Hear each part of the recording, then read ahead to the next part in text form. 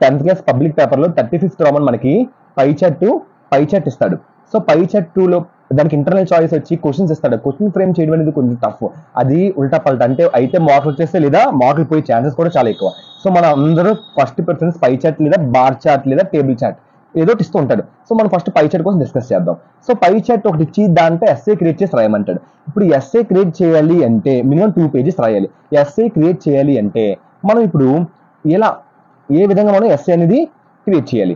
So ఎలా రాస్తే SA అనేది ఫ్రేమ్ అవుతుంది? ఇప్పుడు మనం డిస్కస్ చేద్దాం. ఇప్పుడు how to write a pie chart diagram points to remember గుర్తుపెట్టుకోండి ఇక్కడ. ఇంట్రడక్షన్ ఫస్ట్ రాస్తారు. ఇంట్రడక్షన్ రాస్తారు హెడ్డింగ్ రాస్తారు. తర్వాత టాపిక్ నేమ్స్ సెక్టర్స్ అది ఇంట్రడక్షన్ ఇంట్రడక్షన్ అంటే ఏంటి? Headings sector names topic names రాస్తారు. తర్వాత సెకండ్ నేమ్ వచ్చి వాల్యూస్ ఆర్ ఎక్స్ప్రెషన్ పర్సెంటేజ్ అక్కడ వాల్యూస్ ఏమొచ్చి పర్సెంటేజ్లో ఉంటే పర్సెంటేజ్లు రాస్తారు. మీ నెంబరింగ్ ఉంటే న్యూమరికల్ ఫామ్ న్యూమరికల్ రాస్తారు. ఎలా ఉంటే అలా రాస్తారు. Third maximum percentage least percentage కోసం చెప్తారు. ఫోర్త్ కంపారిజన్ ఇంటర్ప్రిటేషన్ వివరిస్తారు కంపారిజన్ చేసి వివరిస్తారు. ఇంటర్ప్రిటేషన్ అంటే వివరించడం. ఫోర్ ఫిఫ్త్ వచ్చి differences of the given topics sixth point వచ్చి don't write point wise write paragraph wise only ఎప్పుడు కూడా పాయింట్ వైజ్ రాయకూడదు. పారాగ్రాఫ్ వైజే రాయాలి. సో ఇది. సో ఇప్పుడు మీకు ఇదంతా చెప్తే కొంచెం కన్ఫ్యూజన్ ఉంటుంది. ఇప్పుడు నేను ఒక్కొక్కటి ఇంట్రడక్షన్ అంటే ఏంటి?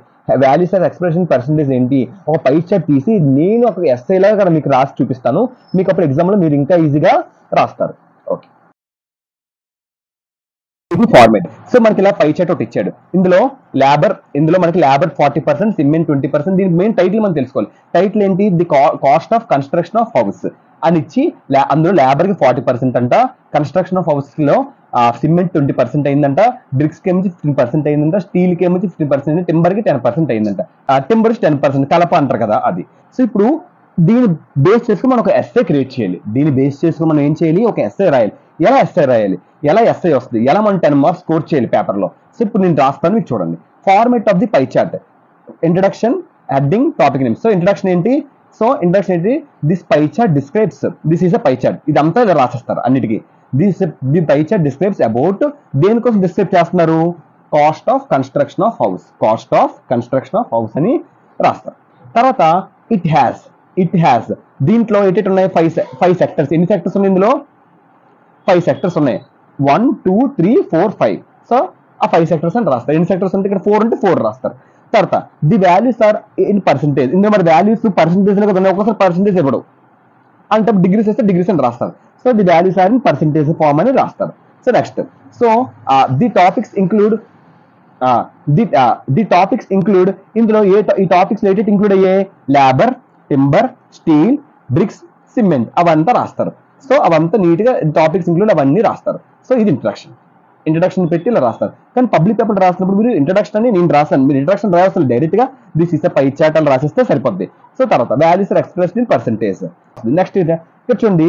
ఇప్పుడు percentage the percentage of cost of the percentage of cost of construction of house on labour is అంటే లేబర్కి ఎంత ఫార్టీ పర్సెంట్ అయింది. సో ఇదంతా లాగింగ్ ఎస్ఏకి లాగింగ్ చేయాలి. The percentage of cost of construction of house on labour is forty percent the percentage of cost of construction house of house on cement is twenty percent the percentage of cost of construction of house on bricks below the percentage of cost of construction of house on bricks is 15% and also steel is 15% ఇక్కడ మరి bricks కి స్టీల్కి fifteen percent ఉంది కాబట్టి రెండు రాశారు. మీకు చూసారు ఇప్పుడు ఫస్ట్ ఏంటి? ఇంట్రడక్షన్ రాయాలి ఇంట్రడక్షన్ ఏంటి రాయాలి ఇది pie chart describes about cost of construction of house అని రాస్తారు ఏ టాపిక్ ఇస్తే టాపిక్ రాస్తారు. ఇక్కడ ఈ టాపిక్ ఇస్తే ఈ టాపిక్ రాశాను నేను.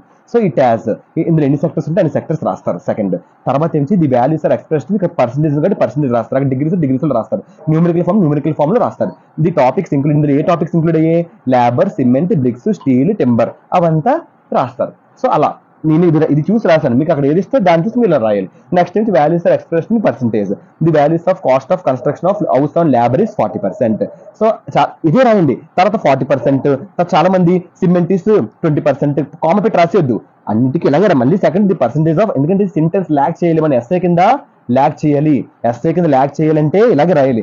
ది పర్సెంటేజ్ ఆఫ్ మళ్ళీ second the percentage of cost of construction of house and cement is twenty percent the percentage of cost of construction of bricks is fifteen percent and also steel is fifteen percent so అలాగే.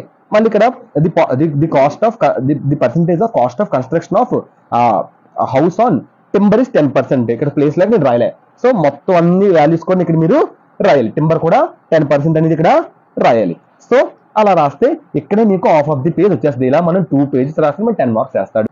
Uh, next uh, ఇదంతా అయిపోయింది కదా కాబట్టి third point maximum percent least percentage ఇందులో maximum percentage ఏంటి? Labour least percentage ఏంటి?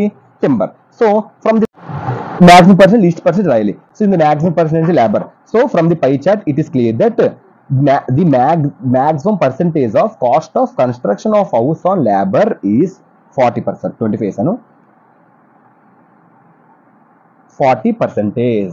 Next, the least percentage of cost of construction house on timber is 10 percent. So timber and the least, all right, maximum percentage, least, least percentage రాయాలి. So same ఇదే. Pie చెట్టు కాబట్టి ఇక్కడ మనం పై చెట్ పెట్టాం.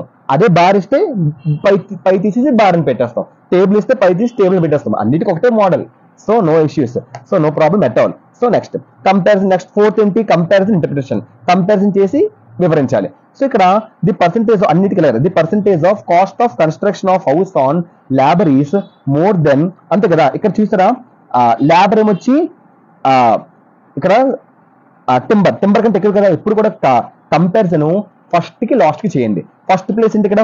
Labour last place ఏంటి? Timber so ఇక్కడ చేయండి. The percentage of cost of construction of house on labour labour is more than the percentage of cost of construction of house on timber అంతే కదా?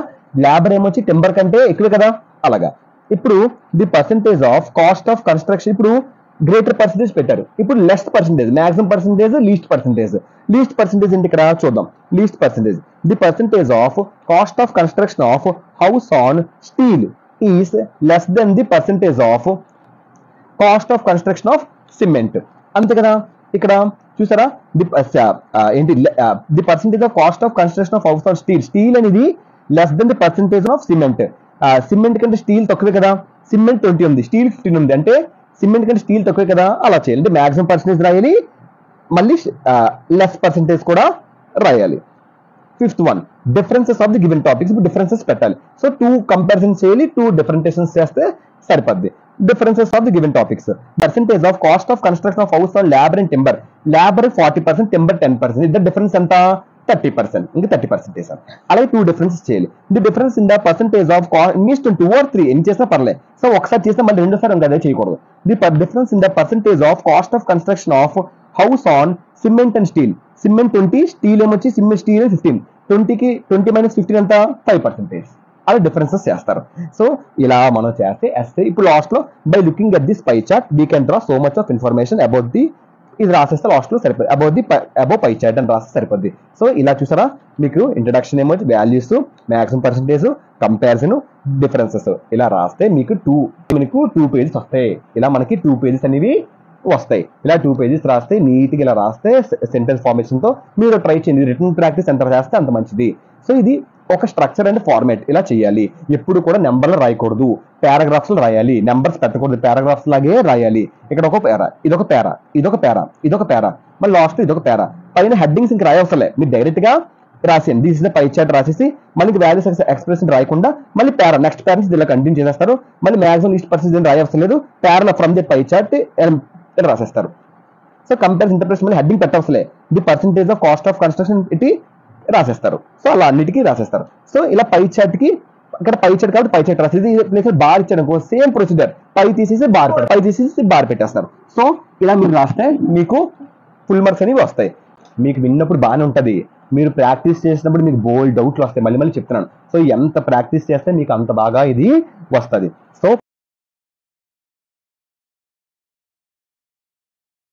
ఈ వీడియో కనుక మీకు నచ్చితే please like share and subscribe hope you understand the pie chart so మీకు అర్థమైందని నేను అనుకుంటున్నాను. సో ఇలాంటి టెన్త్ క్లాస్ వీడియోస్ అన్ని కూడా నేను ప్లేలిస్ట్లో మీకు నీట్గా పెట్టాను. మీకు కనుక మీకు ఏ డౌట్ నా వన్ టు థర్టీ ఫైవ్ రామన్స్ ప్రతిది కూడా నీట్గా ప్లేలిస్ట్లో ఎక్స్ప్లెనేషన్ సెక్షన్ పెట్టాను. Section B section eighth one to fifteen రామన్స్ passes పెట్టాను.